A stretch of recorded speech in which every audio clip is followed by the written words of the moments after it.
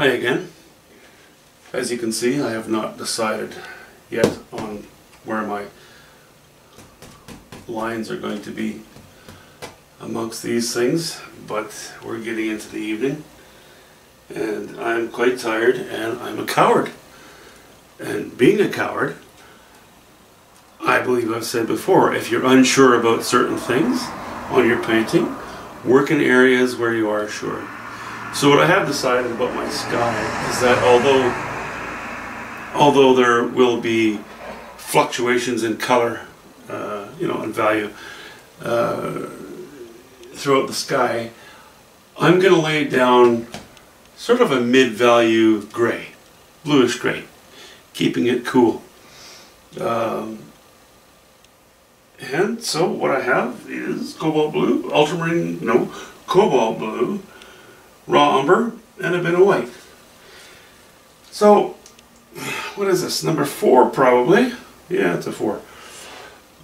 A number four flat brush. And I know it's just a wash-in, but it's still really important with my technique to try to be quite fussy. You don't have to get crazy about it, but you want to be fairly fussy about how you lay your colors in. And, you know, I know I'm painting a negative space, but even so, I'm trying, if, if I see a, a spot or a line uh, on my painting that I can improve on, even though it's the wash-in, I will do it every time you touch that canvas. If you can, make it slightly better.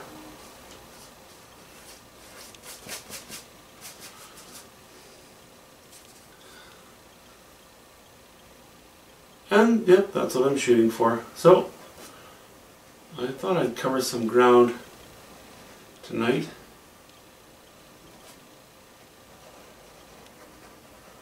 And maybe sharpen up some of these lines, maybe make them more interesting.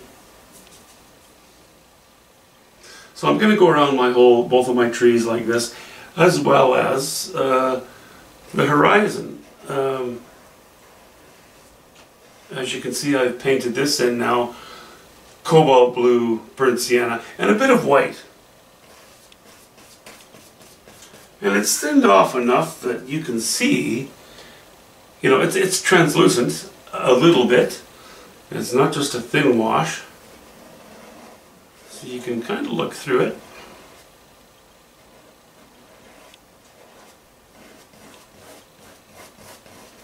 Yep, just like crayons in kindergarten. There's always going to be somebody who says, see, I stayed in the lines and you didn't.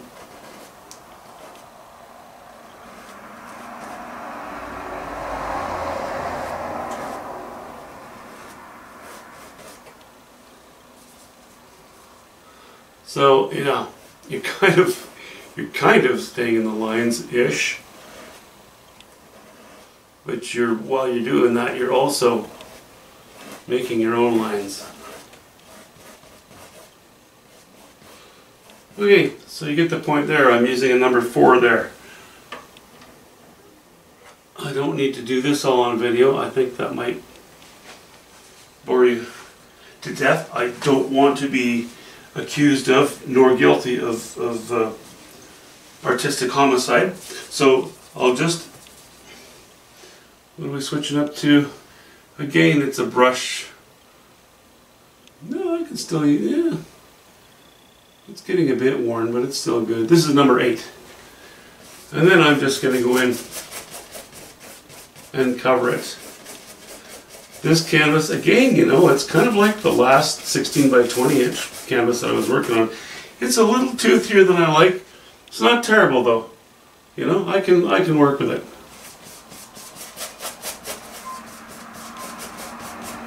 Kind of cross-hatching all over the place. Um, for some reason, see I have this particular value right now and because I have this rock doing this, I generally tend to have my sky oppose it. Even though the design may not be very strong, it, it, it will help to balance things out a little bit. I hope I'm not being too fuzzy on that explanation. I think you know what I'm talking about though. Ooh, I have this little hole here too. I want to fill that hole. And this one.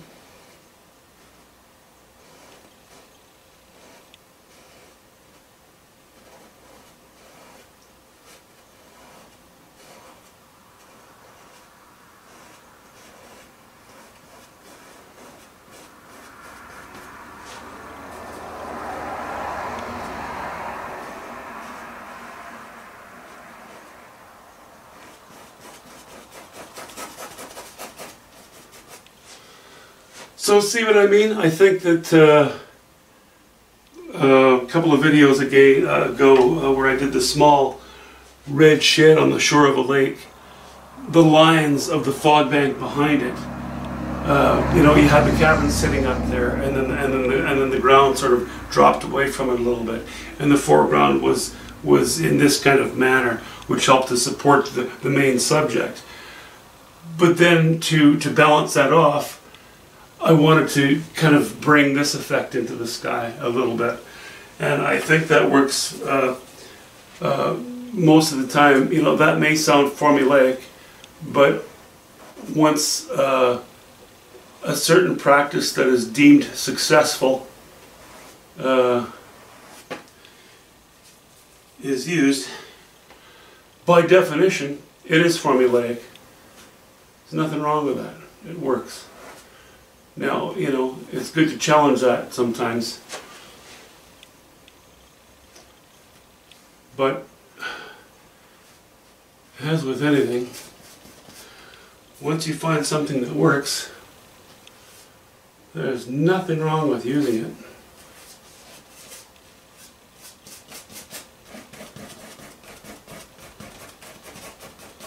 Some people would call it a formula for success. Now, if you always restrict yourself with formulas, your paintings will become very safe, very boring. You know, your own personality, your own flair won't come through. You want to break those rules and guides a little bit, but they are an aid, not a rule, but an aid to, um, to help the artist feel more comfortable. Certainly, uh, uh um, a novice artist feel more comfortable with their own composition. So that's kind of why I suggested. That's why I often use it as well. Talk to you in a bit.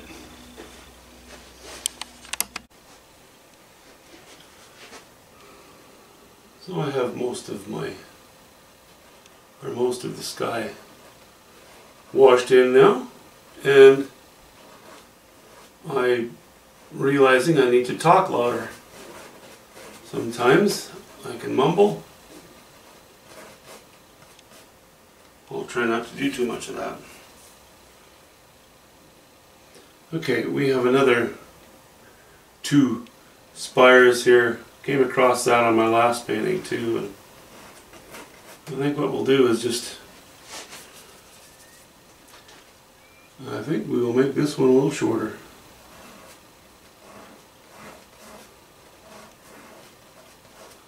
And not quite as spiry. There, it can look like it can look like two trees together. How's that?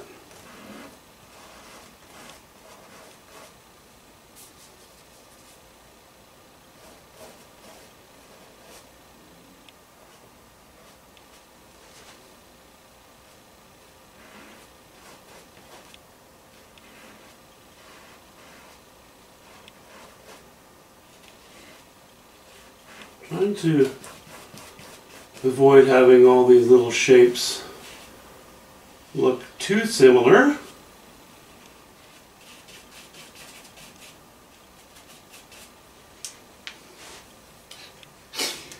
This thing is kind of a goofy looking thing right now and I know you don't see it so well on camera but I actually decided to bend it back this way. As a result of that, I wasn't able to remove the darker stain here, so it kind of looks skinny at the bottom. That's why it looks strange. I'm toying with the idea of making it even thicker and shorter. I'm going to leave it for the time being. I'm really not worried about it.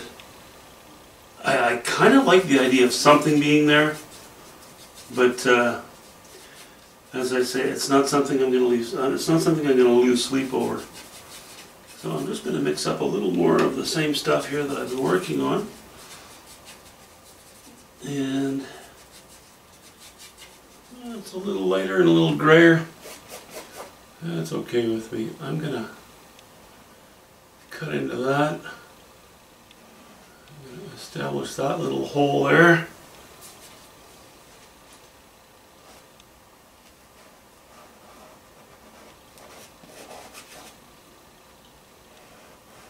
Go up along this edge.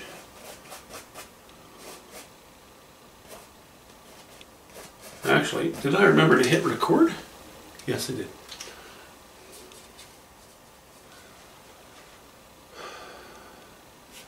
Sorry, I don't mean to sound so forgetful and old. It just happens with age. With age. Age, age, age. Nobody's best friend, but oh well.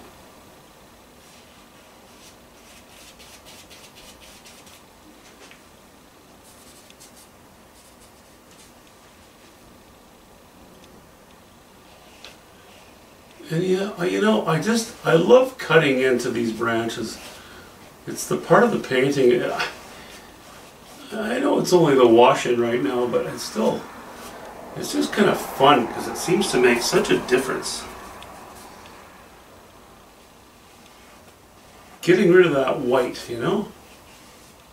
I love it.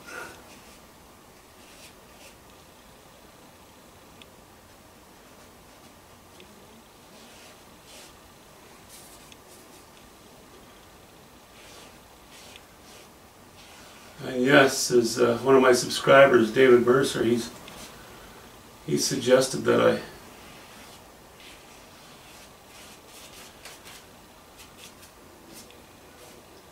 that I bring my uh, my palette higher or have a table off to the side with a palette on it. And I agree, but given what I do for a living, I get so little exercise, a little bending over is okay. I do have a lot of back issues, so uh, that's why in a lot of my videos you'll see me just sitting down in front of my palette. But I, for the sake of the painting, I do prefer to stand. Standing up, you just breathe better and just all around operate better. More better, more gooder.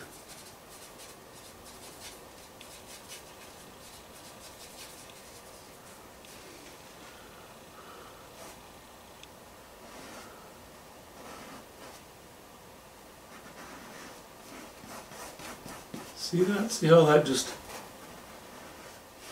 It's kind of funny. It's. It's sort of a chore, it's sort of just labor, but it's some of the most rewarding labor in a painting, I think.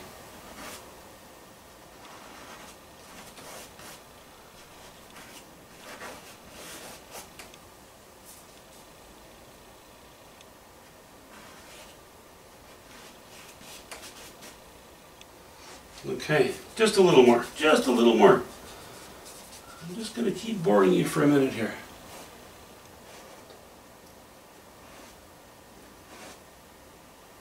Now, I don't tend to drag a brush down onto the existing, uh, the areas that I've already got paint down because you can't get a clean line if I do, you know, if I lay a, a, a stroke down like this, it feathers off overlapping this line. I want, if I want a line to stay crisp, I'll use the tip of the brush and go up and away from it. And as I say that, of course, look at that. I just dumped some on there. Thank goodness for sweatpants. Sweatpants are allocated for painting only.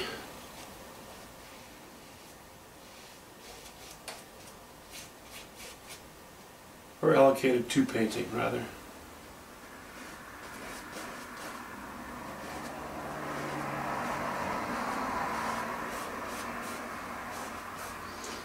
Okay, so aside from this goofy looking thing, which I have a plan for that, no worries there, uh, or I have a couple of alternate plans. I quite like that because now I know that I have this area. I know the sky is not the most important part. Um, it's going to be another one of those paintings where really this is my subject matter, but in order to increase the drama on part of my subject matter, I can juxtapose. I hate that word. Some intensity in this area. Uh, you know, just adjacent to this and adjacent to these rocks. So I've left it a, a bit of a blank slate, something I can play with. Talk to you soon.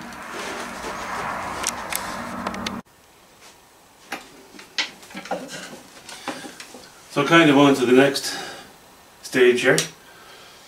Um, I'm still unsure about my lines in here, so I'm just leaving that.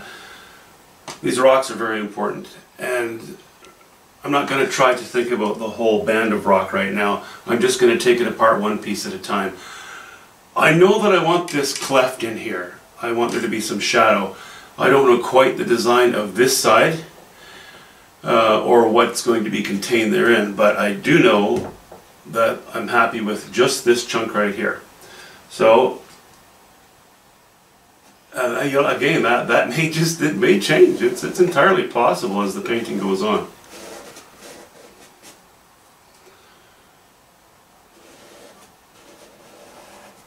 But I'm going to set these lines in place.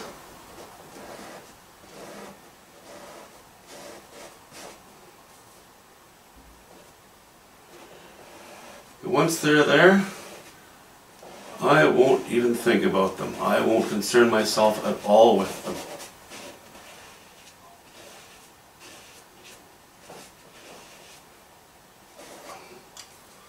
Sort of the first stage of just knowing where I knowing where I want that stuff laying.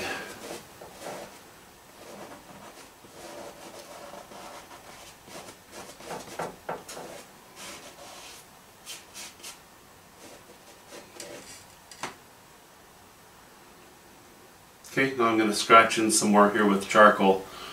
Design, work myself uh, over to the left.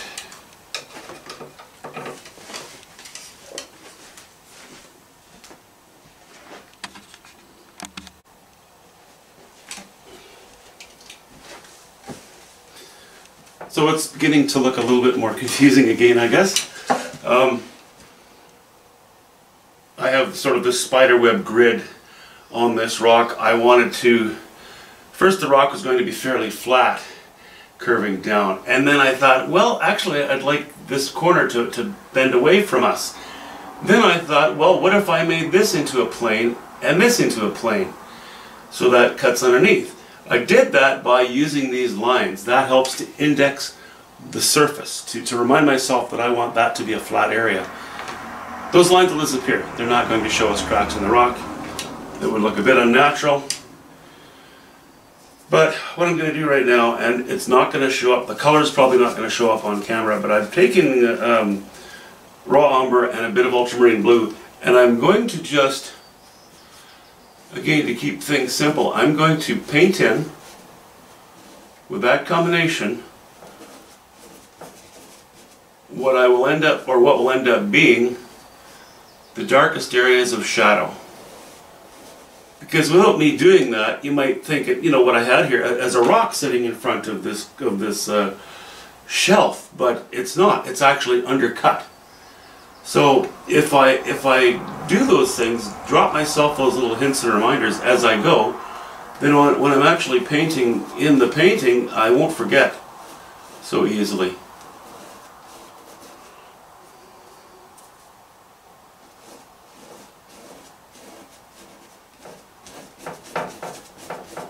Just dropping little hints and aids for myself here and there. That's it. That's that, that cleft in the rock. There's another cut there. Okay, back to doing a few more lines. Ah, that came out kind of wrong.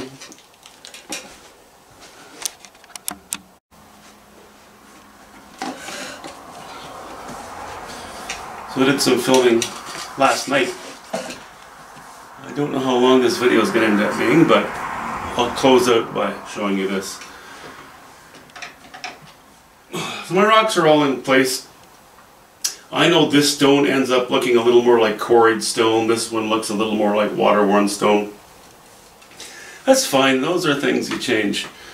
Uh, change the nature of it when I, when I do my final painting. Um, but the important thing is that there's variety. That we don't have a whole bunch of potatoes stacked on top of each other. That's the difficult thing. So rather than just painting stones or rocks, you're trying to paint strata. There's a design to, to, to all kinds of rock. It's no matter how it's laid out.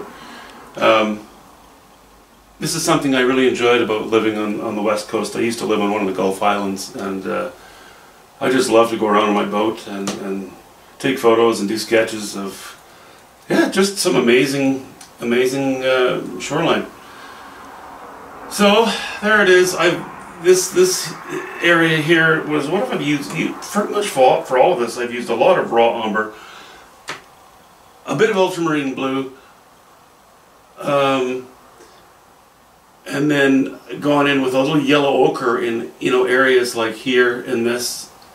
Um, more yellow ochre and a alizarin crimson actually as well in this area. So it's a good variety there. I like it. I'm going to I'm going to wash in the water so that all that's left is to work on the design of these trees. I've avoided the brain work of, of designing them. It's a problem I'm going to have to face pretty soon. But that's how it sits right now. I'll uh, we'll get back to you, I guess, tomorrow. Have a good one.